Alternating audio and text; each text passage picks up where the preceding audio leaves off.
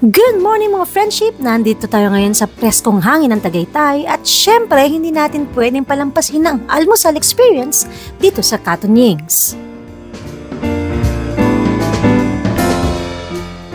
Samahan nyo kaming tikman ang kanilang masarap na Filipino breakfast na siguradong pampagana sa simula ng iyong araw. Pasyal tayo sa loob at alamin kung bakit ito ang perfect spot para sa chill Tagaytay mornings. My name is JLo and this is another Kapihan episode for JLo 5. Tara, kapi tayo!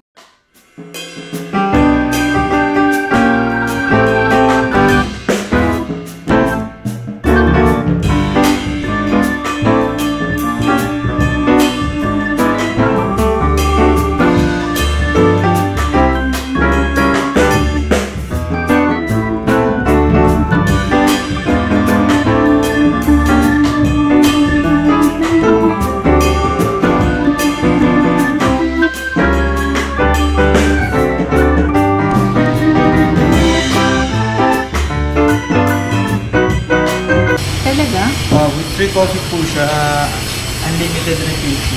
Yung coffee, Almusal wala, lang. eh, coffee lang, walang chocolate, uh, chocolate. Ito, oh. Ah, ito ba yun? Oh. Akala ko ito. Ito yung anak, ano, Ito po, ah, isa. meron po siya, ah, meron na po siyang total Nakasama na lahat. ito 800 plus. Sa- sa- O, yan na lang. Oo nga. Sige, isa almusal mo. Tapos tatlong coffee din yan. Yes po. O, ano, bottomless.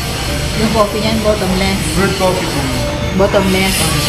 Refillable, hindi. Fillable. Pila mo. Ah, ganun sila dito eh. Sige. So, ang ang inyong platter ay anong magkakasama dito? May Ah, talong. may tortong talong po, ah, may longganisa batutay po. Ah, mamimili po kayo batutay or pekado po. no? Ay, masarap yung batutay. Okay. Batutay po. Ah, corn beef, ma'am. Ta- Tapos, tosino, tapa. Yes, ma'am. Tapos chicken adobo po. With salted egg po. 3 eggs, ma'am. Okay. Ano po luto ng eggs? ma'am? Dito na lang, side up. Side up po. Oh.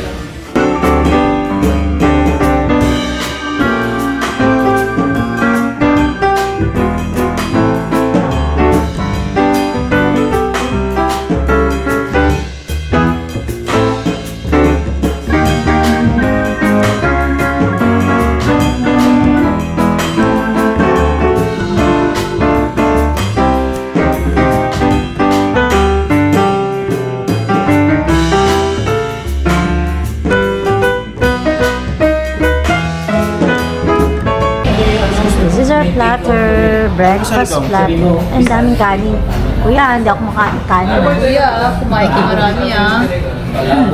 Let's go. Teka muna, vlog first.